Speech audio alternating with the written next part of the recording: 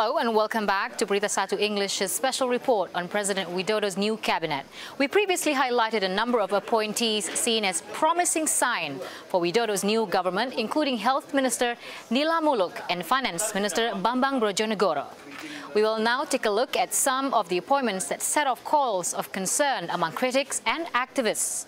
Megawati's daughter Puan was able to nab a top ministerial seat, as was Ryamizard Ryacudu, a former army chief of staff implicated in human rights offences in East Timor, Aceh and Papua.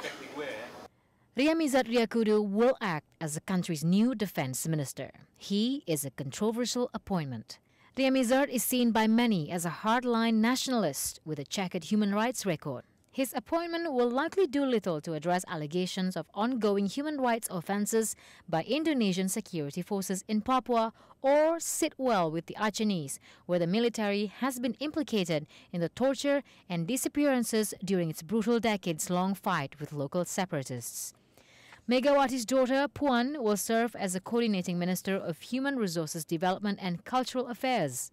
Puan's appointment riled those who hoped to see a cabinet free of the type of political patronage that stained Yudhoyono's cabinet.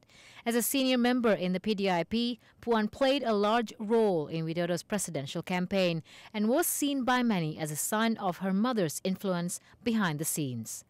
The appointment of senior PDIP politician Tjahjo Kumolo further complicated matters. Tjahjo will serve as the nation's Home Affairs Minister, a significant position tasked with drafting national policy and supervising regional elected officials. Tjahjo also serves as the Secretary General of the PDIP and has been seen as another appointee in Megawati's camp. The trend continues with the appointment of Susi Pujiastuti, a businesswoman with close ties to Megawati.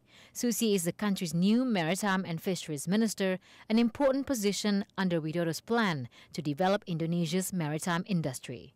Susi amassed a fortune running a fishing company before starting the charter airline Susi Air. Megawati's former Minister of Industry and Trade, Rini Mariani Soemarno, got a second shot at a central government posting with Widodo, naming her as Indonesia's Minister of State-Owned Enterprises. Rini is the daughter of Soemarno, a former central bank governor and confidant to President Sukarno. She previously sat on Widodo's transition team and worked with a number of companies and government institutions, including Citibank, Agricom, and the U.S. Department of Treasury. Rini previously found herself the focus of a Corruption Eradication Commission KPK inquiry into graft in a central bank liquidity assistance program during the Asian financial crisis.